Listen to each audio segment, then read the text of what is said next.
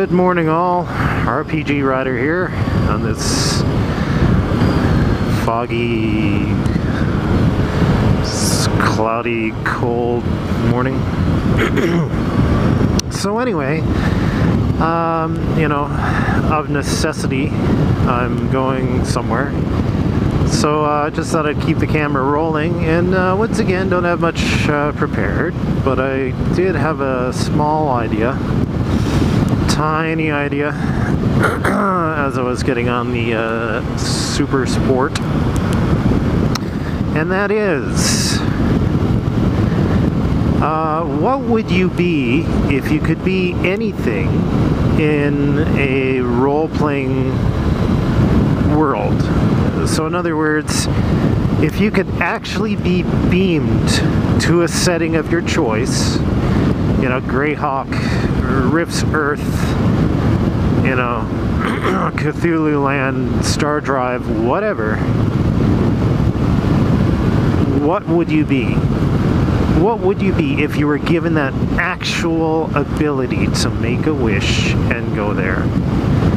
Now, the only thing I want to um, qualify about that question is um,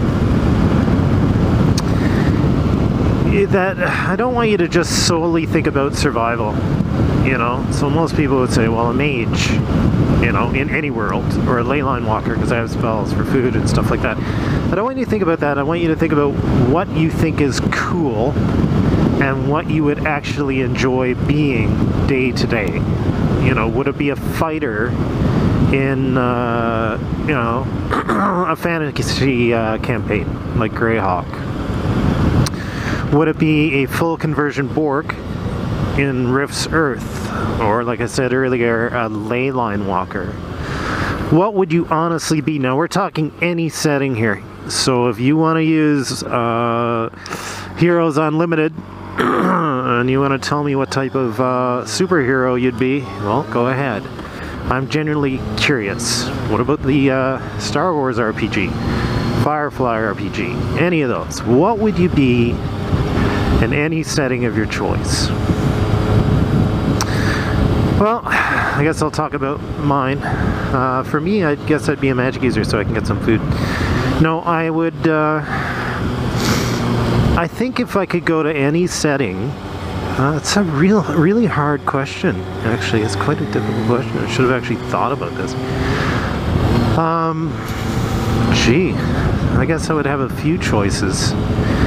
Uh, I think Rifts Earth is quite interesting. So if I went to Rifts Earth, um, I think I would be something technological. Um, so maybe a Borg.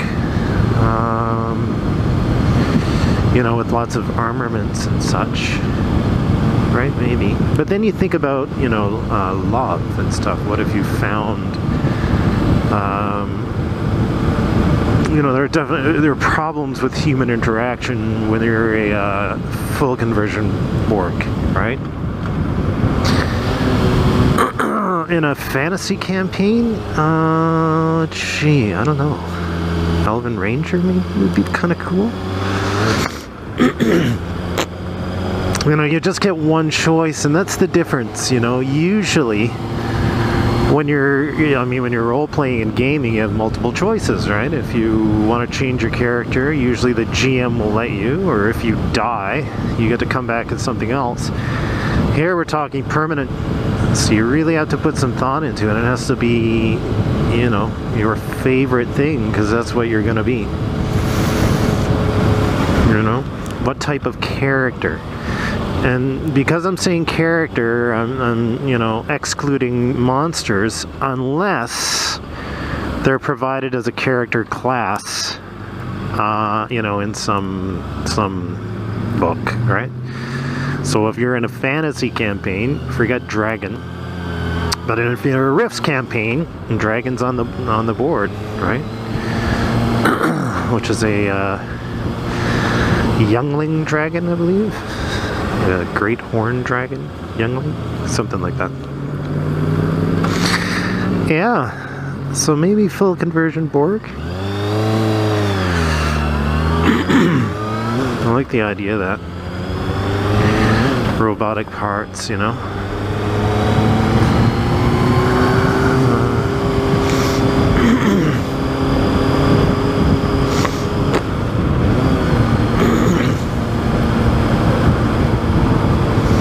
Yeah, I'm curious. I'm genuinely curious. What would you be?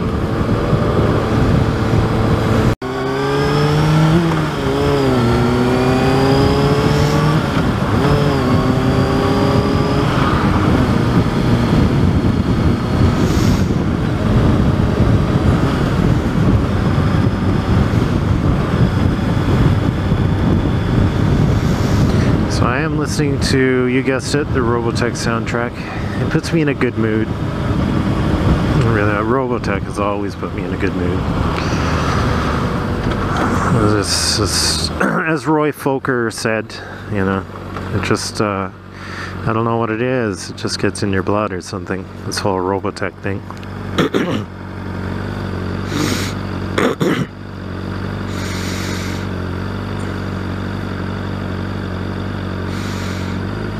Keep calm and chive on, says the vehicle in front of me. I don't think I've ever understood that reference.